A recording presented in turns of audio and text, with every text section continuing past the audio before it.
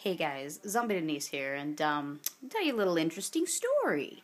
So, when uh, we went to the Wednesday 13 show on Wednesday 13, saw, you know, the Rhythm Gotham played, everybody, it was fantastic, had a great time. Uh, Ghoul Hectic the Clowny found this little thing on the ground while we were loading up the drum kit in the car, and uh, somehow this thing came home with me. And, um, like, I have thrown it away, seriously, like seven or eight times, and the thing keeps coming back. I keep finding it in my house. So, um, this is what it is. You see his little self? He's some kind of ugly looking thing with a hat. This is him.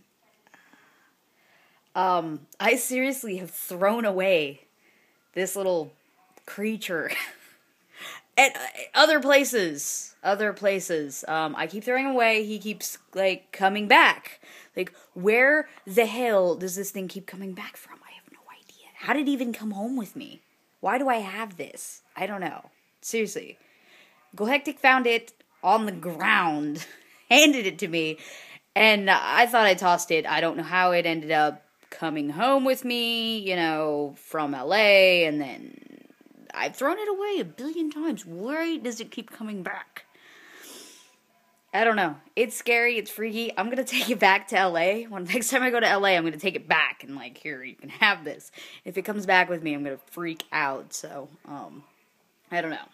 He's got a cool hat, I guess, but freaky. So, what are you gonna do?